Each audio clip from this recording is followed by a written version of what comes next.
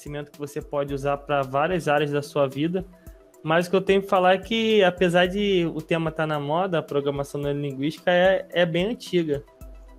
Na verdade, quando ela foi criada é, em meados dos, dos anos 50, é, pelo John Grinder e Richard Blender. Na verdade, ele foi influenciado pela, por alguns é, hipnólogos e aí, influenciado por isso, eles. Um, os dois também trabalhavam com, com, a, com a lógica, né? Eram programadores. Só que um é, resolveu cuidar da parte linguística e outro resolveu cuidar da parte lógica. Por isso que se fala programação neurolinguística. E eles se recolheram e, comeram, e começaram a estudar os comportamentos humanos. E conforme eles iam estudando os comportamentos humanos, eles descobriram coisas assim fascinantes e descobriu também um padrão entre todos nós. Então, querendo ou não, todos nós temos um padrão de como a gente age, né, de como a gente se comporta, de como a gente se, se, se expressa. E quando você detém esse conhecimento, você é fácil você deter informação de outras pessoas, é fácil você de repente manipular alguém ou usar esse tipo de artifício para você conseguir aquilo que você quer tá? E isso tudo já foi testado cientificamente. Existem vários testes que comprovaram a eficácia da, da PNL. Então, muita gente que, que pensa assim, ah, a PNL é, é algo assim, tipo assim, é, é, é falácia e tal, mas na realidade não é bem assim e tal, isso não é, não é, não é comprovado. Não, gente, na verdade é, é assim. Se você for ver os testes, todos os testes têm demonstrado que quando as pessoas usam certos tipos de artifício na parte da PNL, encontrados bons, bons resultados. Bom, para começar o nosso, o no, nosso exemplo aqui, a PNL ela tem um, uma vasta gama de conhecimentos, tá? Geralmente o que o pessoal vê no, no, nos vídeos são técnicas assim introdutórias, como a questão da linguagem corporal, que é a parte que está dentro da, da, da PNL. Então vamos falar um pouquinho sobre a, a linguagem corporal. O nosso corpo, se, se, se a gente tivesse que determinar uma porcentagem de a nossa, a nossa fala, o nosso gesto, o quanto que fala sobre a gente, você vai ver que nós temos uma porcentagem elevadíssima aí de 70% a gente fala através de nossos gestos. Então, na verdade, as pessoas a gente não conhece mais do que 13% das pessoas. Ah, fulano, eu conheço fulano. Não é bem assim, não. Na verdade, a pessoa só se expressa em torno de uns 13%. Tá? Agora, se você entender de linguagem corporal, por exemplo, aí você vai compreender bem mais a respeito das pessoas. É melhor até você ignorar o que a pessoa fala e prestar atenção nos gestos e nas atitudes, você vai entender bem mais sobre, sobre a pessoa. Então vamos lá. Então, a gente tem certos gestos nos pés, nas mãos, na boca, nos olhos, no cabelo, e tudo aquilo quer dizer uma determinada informação que de repente a gente não quer verbalizar, quer dizer, não quer falar, mas está passando pela nossa cabeça. O, o que mais me chamou a atenção quando eu comecei a estudar a PNL, e tem mais um, tem bastante tempo que me fascinou, foi a respeito da neurofisiologia dos olhos, que na verdade é o movimento dos olhos. Se a gente separar é, os principais movimentos, quando eu falo principais movimentos, quer dizer que tem outros movimentos também.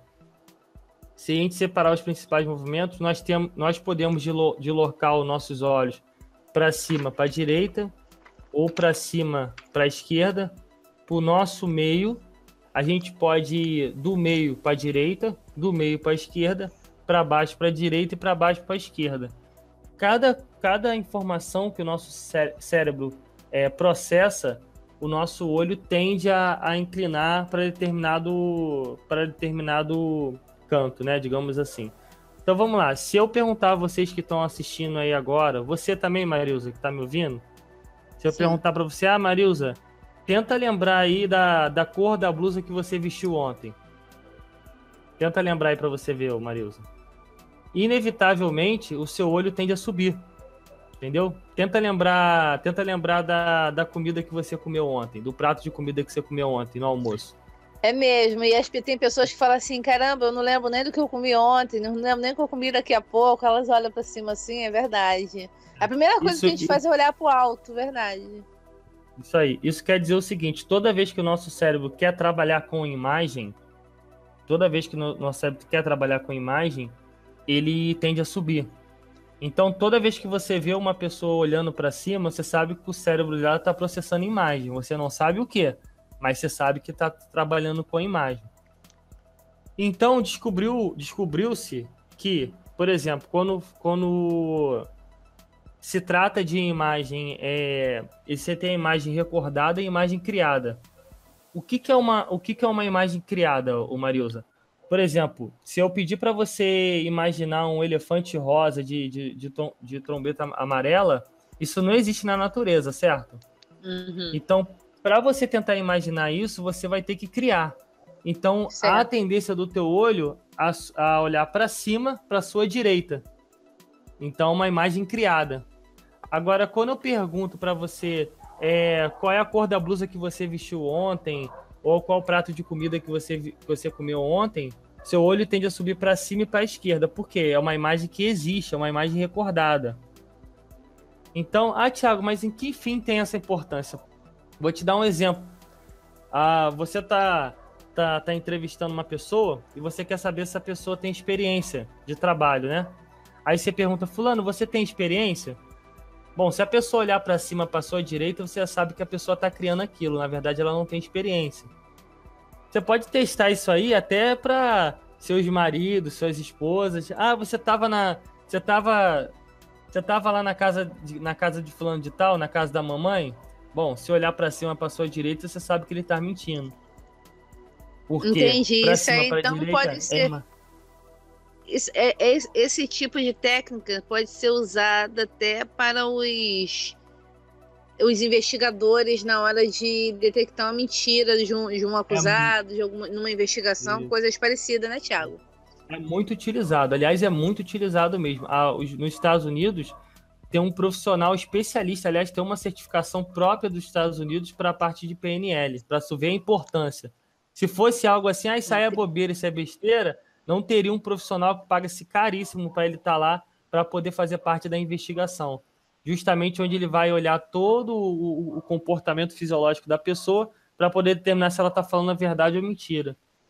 Eu mesmo já cansei de usar, já cansei de usar isso aqui, ô Marilza, é, de gente que já vem pedir você... dinheiro na minha porta aqui, entendeu? Ah, e você já testou? Uma Testei, eu perguntei, mas eu perguntei, eu fiz uma pergunta óbvia, né? Se fosse verdade, a pessoa teria que olhar para cima e para direita.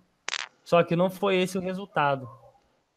Entendeu? Olhou para cima e para então, esquerda, então sabia Olhou para cima, para direita é mentira.